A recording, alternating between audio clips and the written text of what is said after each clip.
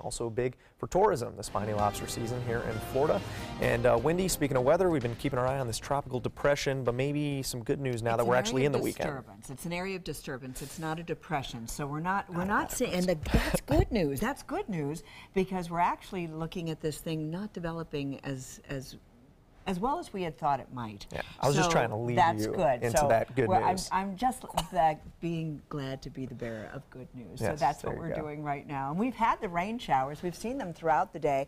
Most of the activity, though, has been very widely scattered. And you can see some of these showers, especially over the interior sections. East of I-75 is where we started to see most of the rain.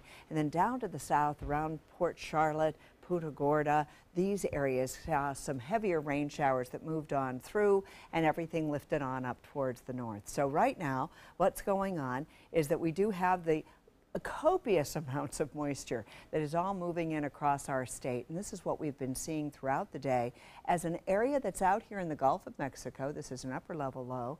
And then the area of disturbed weather over the state of Florida to our north.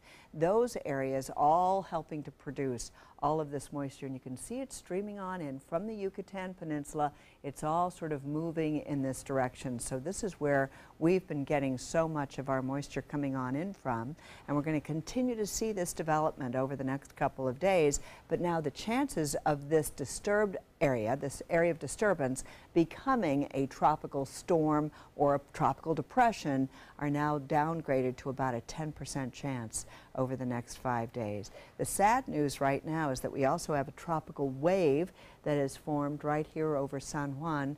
And so this is an area, of course, where we're continuing to watch and our prayers are out for those people in the Puerto Rican island. And what we're looking at right now is you can see this area of tropical disturbance and then we have that upper level low out here in the Gulf of Mexico and all of this is forecast to move out into the Gulf and as you can see that over the next two to five days the chance of it developing into either a depression or a tropical storm have been diminished greatly. So most of the models taking it out into the Gulf of Mexico and we're going to continue to see the cloudy weather. We're going to continue to get those rain showers and thunderstorms coming on in over the next couple of days. And these are going to be the final uh, the final notices that we're going to get on Maria. As you can see, this is now 50 mile per hour winds moving towards the east northeast at 32 miles per hour. Lee also is going to get the last notice, and it is moving off towards the east northeast as well. Both of these systems are going to be downgraded as they move across the colder waters of the North Atlantic. And we're just going to continue to watch these showers. There's some heavier rains out here in the Gulf of Mexico. Right now, we're not seeing anything across our viewing area, so things are quiet for now.